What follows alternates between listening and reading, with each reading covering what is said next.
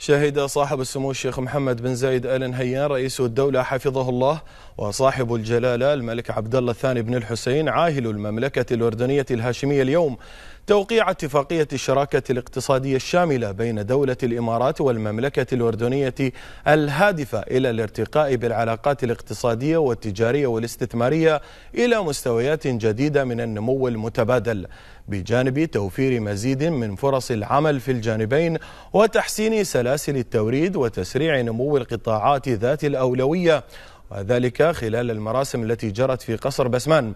كما شهد سموه والملك عبد الله الثاني توقيع اتفاقية التعاون الإداري في المسائل الجمركية بين دولة الإمارات والأردن. ورحب صاحب السمو الشيخ محمد بن زايد آل نهيان بتوقيع الاتفاقية التي تعد الأولى لدولة الإمارات مع دولة عربية مشيرا سموه إلى أنها تطور طبيعي للعلاقات الأخوية والاستراتيجية التي تجمع دولة الإمارات والأردن.